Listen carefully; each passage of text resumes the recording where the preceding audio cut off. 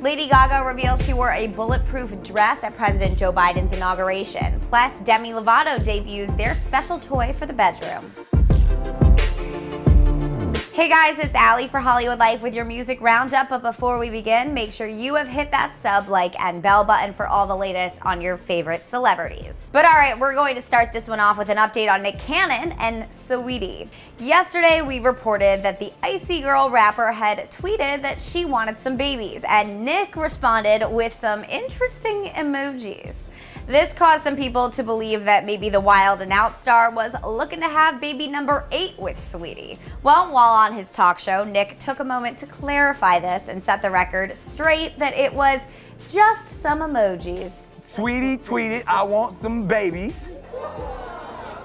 And I just replied with some emojis. As an expert in babies, if anybody who can speak emoji knows what that says, what y'all think that say right there? This comes just a little over a month after the Masked Singer host revealed that he might be considering celibacy. I wonder if he's decided to give that a try. All right, but speaking of the opposite of celibacy, Demi Lovato has just released a new love toy, and according to the singer, it will take your sexual relationship to the next level.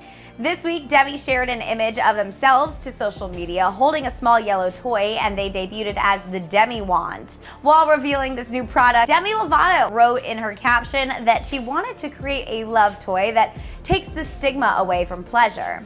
According to Bellesa's Boutique's website, which is where this toy will exclusively be sold, it's described as the first of its kind with eight vibration modes and its own carrying case, which fits right in your bag.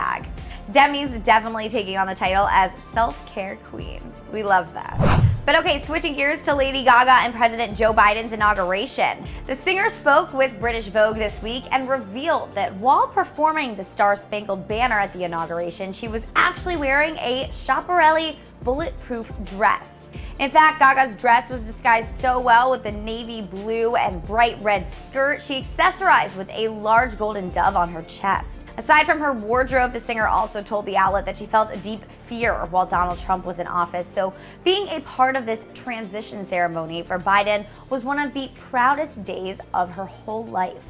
But all right, you know what to do. Follow me on social media at Allie and be sure you stick with us for all the latest. Bye, guys.